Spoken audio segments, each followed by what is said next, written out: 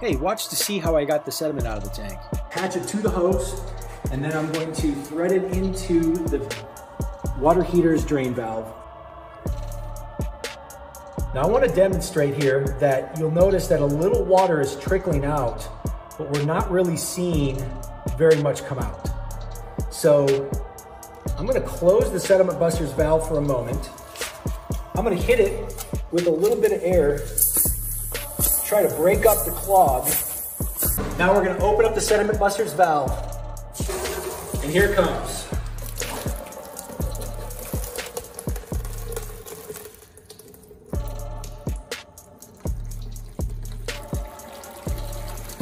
So we broke that initial clog and you can see all that sediment coming out. And now the water's starting to punch out a little bit better. And I just start hitting it with just quick shots. And check it out.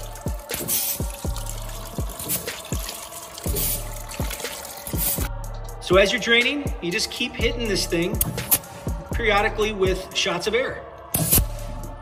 You'll just see the sediment flowing right through along with the water and it keeps mixing and pulling out. And this is what we're finding, guys. That was the initial flush. This was after 10 minutes of flushing, and this is after draining. Sediment Buster, I'm telling you, we were able to see what we were doing through the clear window, able to break through tough clogs. You saw how much broken shale and minerals and dirt that we are able to pull out of that tank, Sediment Buster is a game changer.